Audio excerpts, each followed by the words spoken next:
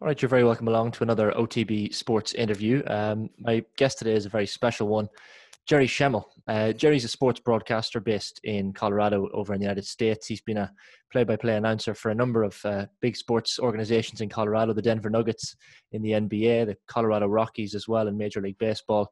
Uh, and aside from, from that, Jerry's had a, an extraordinary, interesting life that uh, I guess a lot of people focus on, on the events of, of one particular day. So, July 19th of 1989, so almost 31 years ago now. Jerry was a passenger on board United Airlines Flight 232, which was on a scheduled flight from Denver to Chicago uh, that made a crash landing in Sioux City, Iowa. Uh, that crash led to the deaths of 112 people on board. Uh, over 180 people survived that crash. 184 people survived. Jerry was one of those. Um, but Jerry, first of all, thanks a lot for taking the time out to uh, to have a chat with us today. You're very welcome. Good to be here with you, Shane. I know that that day, July 19th, 1989, is something uh, I'm sure you're sick of speaking about at this point. It's something that, that's constantly um, brought up to you and something that you constantly have to talk about. But what are your memories of, of that day? And, and, and I guess the build up to it, you, you were working uh, with the Continental Basketball Association. And, and, and what, what had you on that flight that day? Yeah. Well, first of all, no, I, I, never get tired of talking about it. I think that's one of the reasons I survived, Shane, is that I can tell the story now and, and maybe have some positive impact on somebody. So it's never a, a problem or a chore for me to go back and, and revisit the crash. And when you said 31 years ago, I can't believe it's been that long, man. That's gone that's gone by really fast. But you know, it was it was a crazy day because I wasn't supposed to be on that plane originally. I was supposed to fly at seven o'clock in the morning, as you said, a flight from Denver to Chicago, and got out the airport about six o'clock in the morning or so, and found out that uh, my flight was canceled. And so I got rebooked on four consecutive flights. They were all full, so I'm flying standby, and finally got on the fourth standby flight, which turned out to be, as you mentioned, United Airlines Flight 232. So I wasn't supposed to be on that plane. I had a chance to, to go on an earlier flight. My travel companion, who was my boss at the time with the CBA, uh, said, no, let's travel together. So we ended up being delayed by six hours.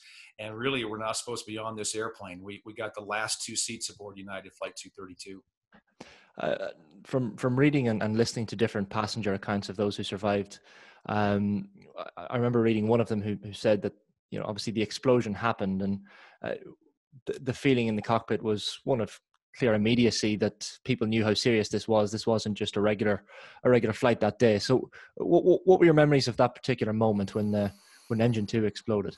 Yeah, pretty vivid, actually, Shane. And, and it was about it's about a two hour flight from Denver to Chicago, so about half a day. I think we're one hour in, or just short of that. And uh, out of nowhere came this explosion, and I could hear it first, and then I could feel it kind of come from the back of the plane to the front of the plane. You kind of feel the reverb uh, from the, the blast. And the first thing I thought was a bomb has gone off. I honestly did. I thought someone had planted, it, like a terrorist had planted a bomb. It had been detonated, and we started to drop. And this is crazy because I don't know if you remember Pan Am 103. It was down by a terrorist bomb over Scotland uh, about six months before our crash. And I thought, wow, the same thing has happened on American soil. And this is crazy. And I, we started to drop. And I thought, well, this is it for everybody. And sort of, I, I don't know if you call it eerie or strange or something, but a couple of questions just popped in my mind as this is happening. Number one was, um, uh, how many people are aboard this plane? Because uh, I wanted to know how many people were going to die in the next couple moments we hit the ground. And the thought in my mind was 200 for some reason. I was almost 100 off. There were 296 of us. And then the question that hit my head was how long does it take a DC 10 to drop uh, 28,000 feet or where we were, 37,000 feet. And I had no idea on that one. And so I was thinking well, how long it take before we hit the ground. And about the time I had those questions, we came out of that drop. Uh, and after probably about a minute or two, we felt like we were flying normal again. We had kind of leveled off and, and it didn't seem completely normal. The sound of the engines were different, but we weren't dropping anymore. And, and some of the panic that had taken over the cabin kind of subsided just a little bit. I read somewhere that uh, the, the time limit from, uh, from I guess the explosion to when the crash landing occurred in Iowa uh, was something around 35, 40 minutes. I mean, did the pilots give any indication as to how serious this was going to be? They did, yeah. Actually, uh, the first exchange from the cockpit came from Captain Al Haynes, our, our cockpit captain. He said that uh, the explosion we heard was not a bomb going off, but the number two engine, he said, that sits in top and the back of the plane exploded. And he said when it did, it injured the rear of the aircraft. And he told us initially, his first exchange, he said, "We're having a lot of trouble controlling this aircraft."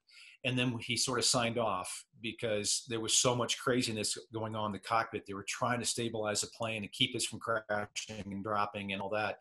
And they finally did a little bit of that. He got back on the PA system a little while later and he said, All right, we've been given a directive to make an emergency landing in Sioux City, Iowa. He said, I want everybody in their seats. Uh, their seats belts are fastened. You can't get out of your seat under any circumstance. You can't get up and talk to people. He said, "All right, uh, this is this is going to be rough. This is going to be rougher than anything you ever been through. You need to get ready for a crash landing because we're not going to land this plane and walk off this thing safely." So he knew, cockpit crew knew that we were in trouble, and he wanted us as passengers to understand that as well. And I think he did a, did a great job of doing that. Uh, you, you, see in movies, um, and that's my only real reference for this, but uh, before a plane crash happens or if passengers are aware that a flight is going down you know people react differently. Some people cry some people pray some people hold hands some people i guess write letters or notes to their loved ones if they have the time. But uh, how did you spend that time and how did you what was your psyche like in, in, in those moments? Yeah. well first of all we, we were unlike a lot of crashes and we had a lot of time to get ready shane. We had 45 minutes actually. You were right. A long time before the time of the explosion and the time we hit down. And the reason was that every time they got on a heading for Sioux City, the plane on its own would sort of veer off to the right, and we have to come back and line up again. I think we did that five times, which took us so long. But I think it was probably to answer your question, a whole myriad of, of thoughts. Uh, you know, I thought about my wife. I thought about her being a widow. I thought about the fact that I hadn't had kids yet. Um, I, I, thought about um, the afterlife. I had two sisters who died at birth that I, I, might that I never met that I might be able to rendezvous with. Um, uh, and then at the end, I thought, all right, let's make sure at the end, being a couple minutes before we hit, being um, all right, let's make sure that if you're alive, you're not going to panic. You're not going to flee the plane. You're not going to help yourself. Let's let's stay calm and help other people. And that thought was my last one before we hit the ground, and I think it kind of paid off, and I think it did for everybody else too. There there wasn't any panic at all. Uh, the moment of impact then um, when the, the plane crash landed into the uh, i think into a cornfield or ended up in a cornfield at uh, the airport in, in sioux city iowa um, and broke into something like four pieces what, what, what was your do you recall that moment on impact? Do you recall the moments thereafter? Yeah, sure do, Shane. Uh, you know, first of all, a normal DC-10 landing is about 120 miles an hour when you hit the ground. We hit at 255 miles an hour, so we're coming in. We're we're having airspeed that's twice what it should have been because they couldn't control that plane, and so they knew they were going to crash. We dropped three times faster than we are supposed to. So that impact, to answer your question, was just absolutely incredible. It's like we just dropped out of the sky and hit the ground, which is, I guess, kind of what we did. But immediately inside the cabin, I mean, first couple of seconds after we slammed down, uh, uh, bodies are being thrown about inside the plane. Some were still strapped in their chairs, and their chairs had given, and people were thrown in their chairs still strapped. Uh, smoke and fire and debris, all in the first couple of seconds after we hit down. So uh, it was for all the the thoughts of what it was going to be like when we hit the ground. I don't think anybody was ready for how hard we hit and how much craziness there was as soon as we hit. Uh, do you remember looking around you and, and I guess specifically the people uh, in, in the seats closest to you, beside you, in front of you, behind you, what condition they were in? Or was it just a case of people were, were, were strewn everywhere? Yeah, know, we, we were in that uh, brace position. We had practiced that, which for me was to grab the seat back in front of you, put your hands on the top of it, and then cross your arms and hold on that way. And I was doing that, holding on as tight as I, I possibly could. But after we hit the ground, I sort of looked around a little bit and I saw all this all this debris and fire and people being thrown about inside the cabin. I remember thinking to myself, all right, this is maybe after 10 or 15 seconds after we hit the ground. I thought, all right, this is bad. Uh, there are some people who are going to survive this. There are a lot of people are going to be hurt. Uh, uh, but maybe we'll coast to a stop and I'll just assess things in. Because it felt like we hit the ground and we bounced a couple times, which is what happened. We bounced in our nose and then we started sliding. And I thought, all right, we'll just slide to a stop and I'll assess things then. And about the time I had that thought, Shane, we flipped over frontwards. We kind of cartwheeled end to end. The nose dug into the runway and we flipped over that way. And uh, and that's where it really got crazy. I mean, I slid upside down and backwards for uh, almost a mile off the runway and into, like you said, a cornfield next to the airport.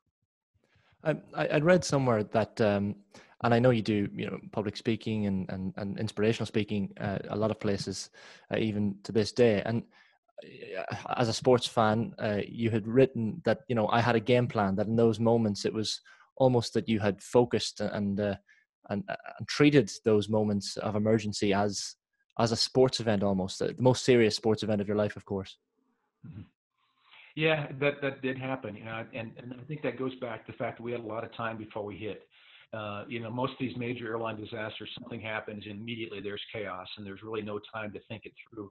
We had time to do that. We had time to get a game plan, and I just remember thinking, all right, uh, like I said, hey, if if if I'm intact, if I'm alive, I'm going to help people. I'm I'm not going to I'm not going to panic. I'm not going to flee the plane and, and try to save myself first.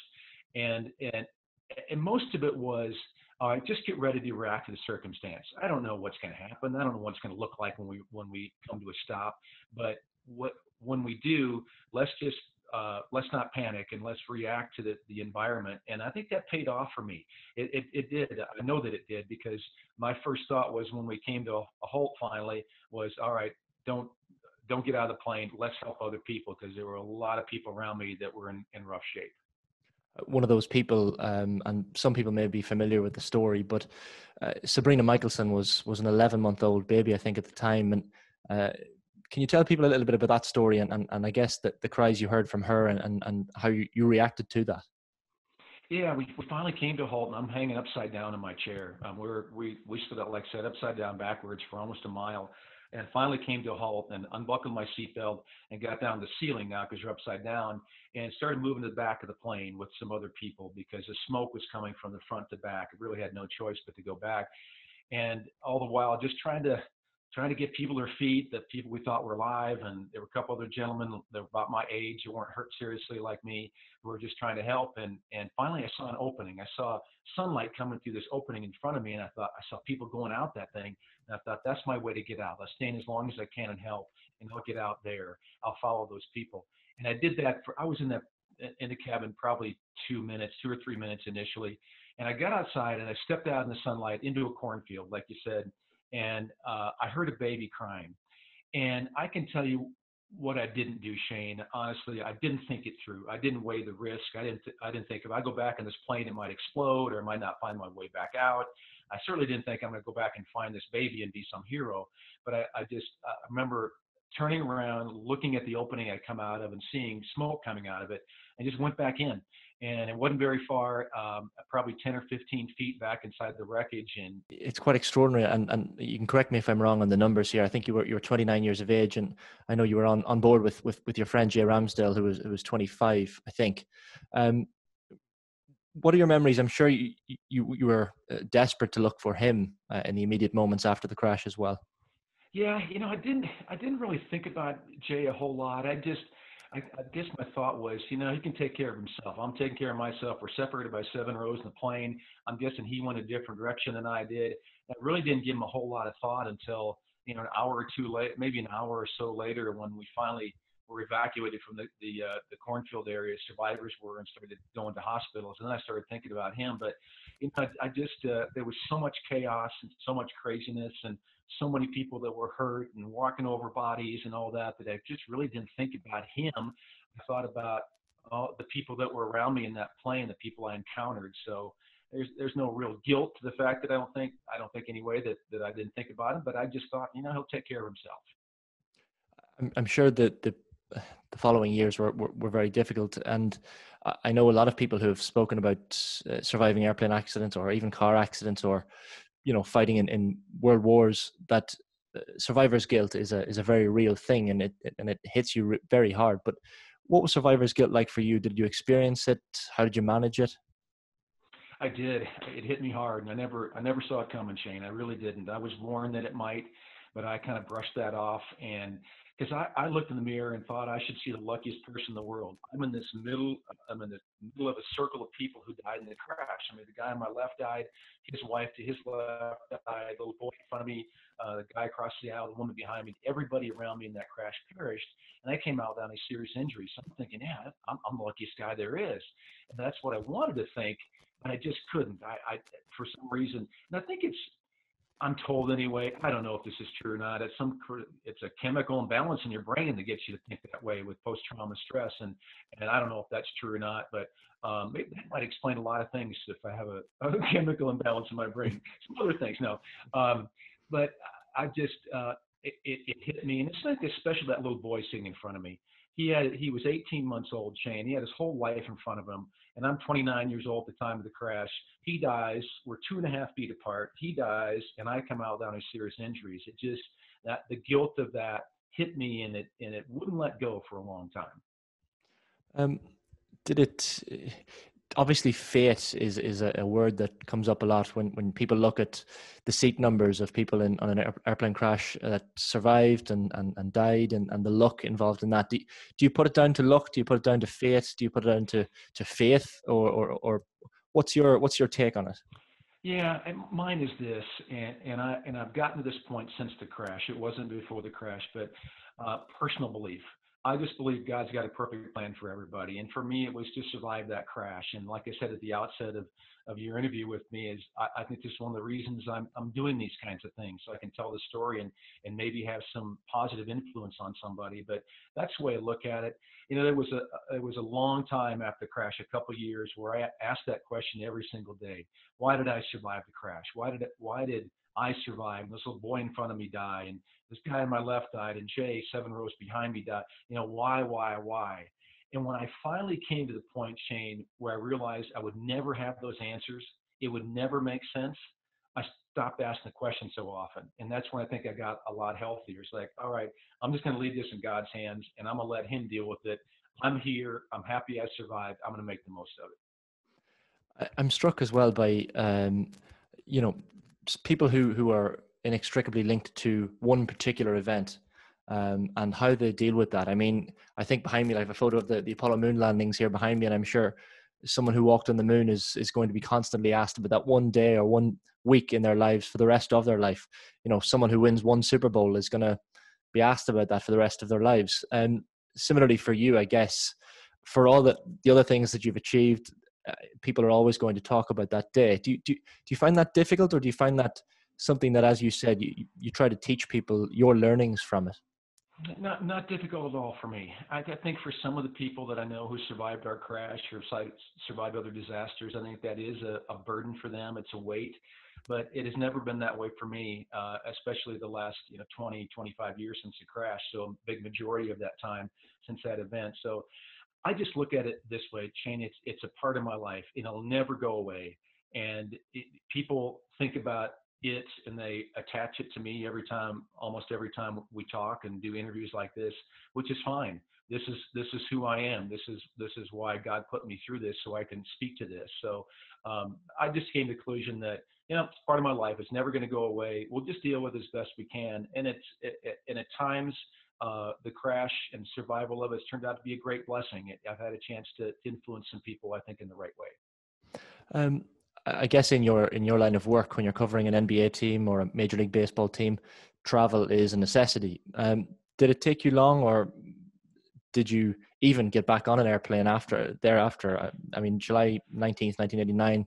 When was the next time you got on board an airplane? Yeah this is going to sound a little more courageous than it really was, but uh, I got back on a plane the next day after the crash, so really? July 20th. So, yeah, and it was it was strange because uh, I went to a hospital, got released right away because I wasn't hurt. At least I didn't think I was, and got contacted by United Airlines that night, and they said, "Hey, we're we're bringing a plane into Sioux City from Denver, and we're going to take anybody back to Denver that wants to go. Do you want to go? Because you're out of the hospital." And I said, "Yes, I, I want to go back home." So uh, I stayed up all night looking for Jay uh, went from hospital to hospital, made all these phone calls and couldn't find him.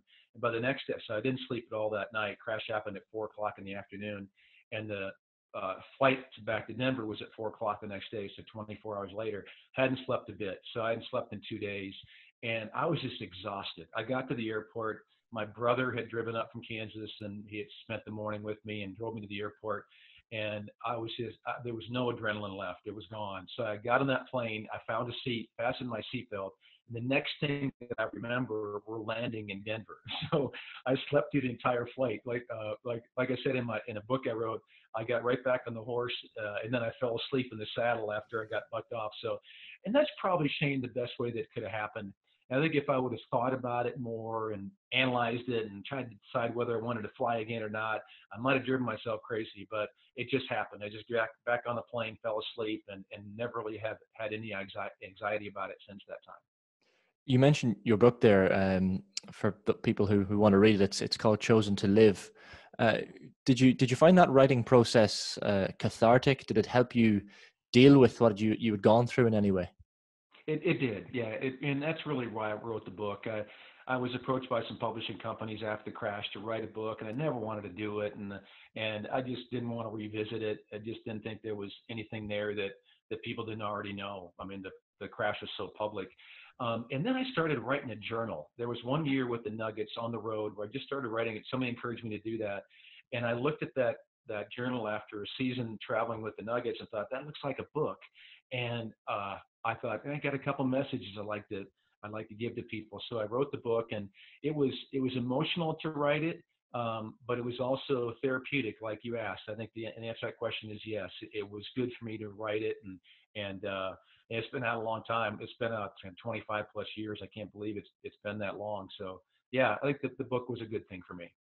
Uh, we're obviously a, a sports channel um, first and foremost here at Off the Ball, but uh, I guess traveling with, with teams like the Nuggets and, and the Rockies and, and baseball as well, uh, you must have a lot of experiences and possibly enough to to fill a book um, mm-hmm. in itself. But uh, what are your your favorite memories from from being a sports broadcaster over the years? You know, I think with with the Nuggets, there are a couple of things. Uh, there was a year, uh, the '93-'94 season, so my second year doing the team, where uh, the Nuggets were the number eight seed in the playoffs and beat the number one seed, uh, which was Seattle at the time. First time a number eight had ever beaten a number one, and did it on their court. They had the best record in the NBA that year, and uh, George Karl was their coach, who turns out to be the Nuggets coach later, and a good friend of mine. Uh, so that was a great moment. Uh, there was a couple other games that were uh, there were two triple overtime games that the Nuggets won, where a couple players just went off and had 50 points. So um, those were fun. With baseball, there were a couple of a couple of great moments. Uh, we had a player uh, Nolan Arenado, one of the great third basemen in, in the in the game, and a couple of years ago he hit a home run as a walk-off winner, and he completed the cycle at the same time, which is really rare. I mean, not just to complete the cycle, but to do it with a home run your last at bat and to have it uh, win a game for you was unbelievable. And I think that's the greatest moment I had in baseball. But just you know, doing those games, I was 20 years in the NBA and 10 in Major League Baseball was just a just a blessing. All of it was fun. There was never a day, Shane, where I wasn't excited about going to the arena or the ballpark. Every day was it seemed like a fantasy world for me. You strike me as someone who would almost certainly have seen uh, the Last Dance, the Michael Jordan documentary on Netflix. Yeah. So what what were your thoughts on it? I mean, this the psyche. A lot of people over here in Ireland watching it watched it as well, and uh, hugely popular, obviously. Yeah, you know what it did for me? It it just brought back memories of of how fun it was to cover that team. I mean, that was such a dominant organization, and Michael Jordan was probably the most recognizable person in the world, maybe at that point. Certainly an athlete, I think. It seemed that to me that way anyway. But just watching that, I just I, it took me back to because I was with the Nuggets that whole time, and we play them twice a year, and just to to to relive how exciting, how fun, how uh, engrossed everybody was in that Michael Jordan thing because it was a phenomenon, Shane. It was if you if you ever had a had a chance to go to a game when Michael Jordan was playing in Chicago, it was unbelievable. It was so incredibly loud. Nobody could get a ticket. It was it was just the place happening in the world. It seemed at that point. So it just brought back memories of how fun that era was for me and and how it was just a small part of it. It was I, I thought terrific. And finally, Jerry, I mean, I've uh, seen as well endurance sports is something that you're uh, heavily involved in. I know you've done plenty of triathlons and uh, marathons. And what struck, really struck, struck out for me was the, the race across America and the Colorado crossing as well. So, what were those endurance cycles like? I'm particularly interested in. Yeah, the, the cycling thing is something that uh, that I really have a passion for. Really like to do it, and and that goes back to the plane crash, Shane. I, I after the crash, it was suggested that I, uh, you know, find some kind of athletic endeavor to kind of fill up the space a little bit. And I and I got back on a bicycle, and I'd done triathlons early in my life, and and I got back on a bike, and just felt great. Just felt like it was therapeutic, and and so I had this this love affair that kind of uh, bloomed after the crash with cycling. And so I decided to, to use it to raise money. I, I rode across America a couple times just on my own uh, to raise money for charities. And then in 2015, I did the Race Across America, like you said, as part of a two person relay.